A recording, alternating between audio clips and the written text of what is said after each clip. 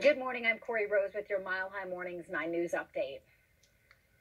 Right now, Aurora police are asking for your help in finding a driver in a hit and run crash that badly injured an older woman last night. It happened at Kingston and Colfax in Aurora. Police are looking for a black Subaru Legacy. They're not sure of the car's license plate, but they say the car should have damage on the driver's side. Police say the woman is in critical condition, so if you know anything, give Crime Stoppers a call.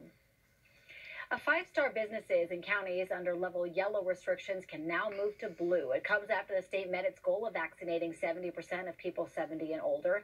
Level blue means 50% capacity or 175 people, whichever is fewer, and a midnight last call. As far as the weather goes, we just have a one day blip on our gorgeous weather we've seen in March. It continues into the weekend. Gray skies now. The rain and snow showers will be developing as the day goes on.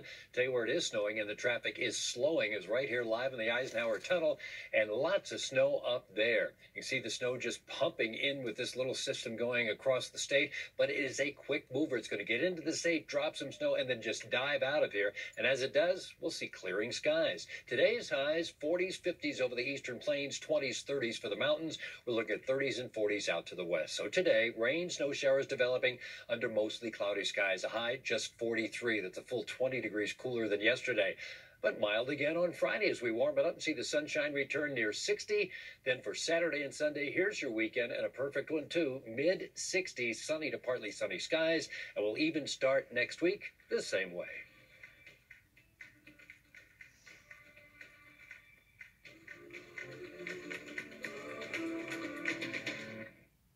Your home.